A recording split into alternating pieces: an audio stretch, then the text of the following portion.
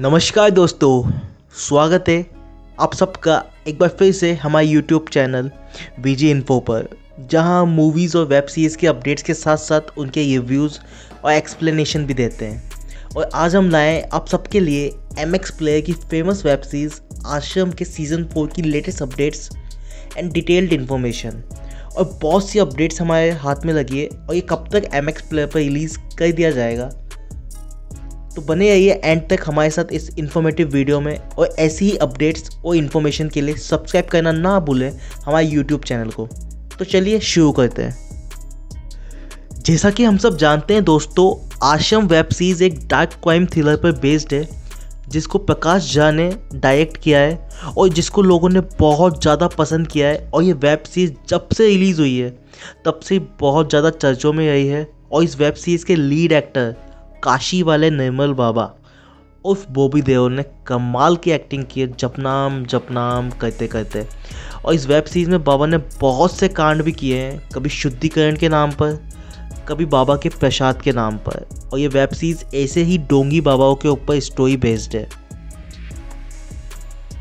दोस्तों, मैं बताना चाहूँगा, आश्रम का सीज़न थ्री थर्ड जून 2022 में रिलीज़ कर दिया था और इसको जिस मोड पर एंड किया था, उससे फैंस बहुत ज़्यादा एक्साइटेड है नेक्स्ट सीज़न के लिए।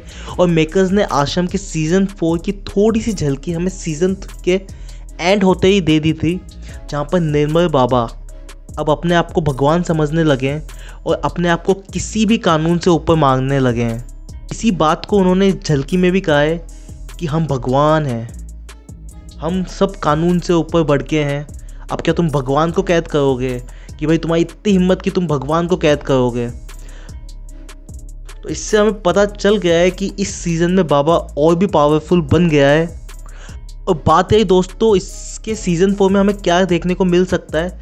तो बताया जा रहा है कि बाबा बहुत ज़्यादा पावरफुल हो गया है। और पम्मी पम्मी पहलवान, जिसको बाबा पम्मी पहलवान कह के पुकारता है तो इसमें बताया जा सकता है कि पम्मी सबक सिखाने के लिए बाबा के नज़दीक जाके बाबा से शादी कर लेगी और शायद तक अपना बदला पूरा करने की कोशिश करेगी।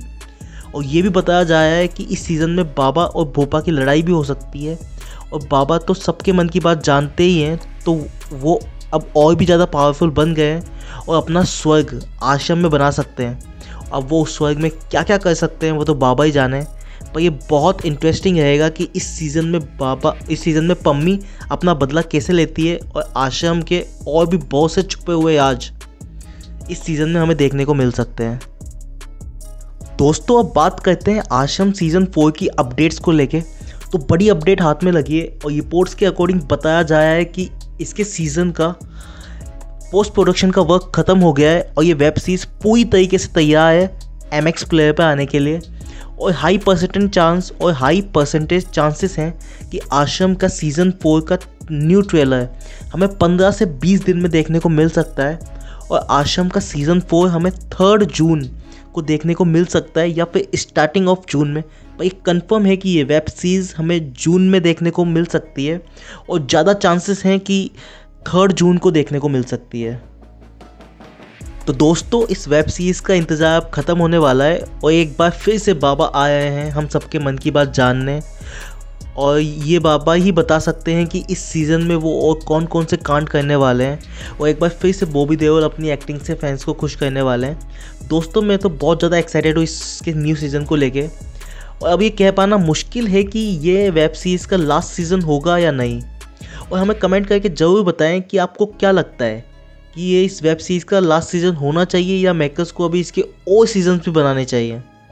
दोस्तों, इसी के साथ इस वीडियो को एंड करते हैं और हमें कमेंट करके ज़रूर बताएँ कि आश्रम वेब सीरीज़ में आपका फेवरेट कैरेक्टर कौन है और हमने अपने चैनल पर मूवीज़ और वेब सीरीज़ के रिव्यूज़ और एक्सप्लेनेशन भी स्टार्ट किए हैं तो आप हमारे चैनल पर जाके देख सकते हैं। और अगर आपको हमारी वीडियो इन्फॉर्मेटिव लगी तो लाइक करें और ऐसी ही अपडेट्स के लिए सब्सक्राइब करना ना भूलें हमारे यूट्यूब चैनल वीजी इन्फो को। जय हिंद दोस्तों।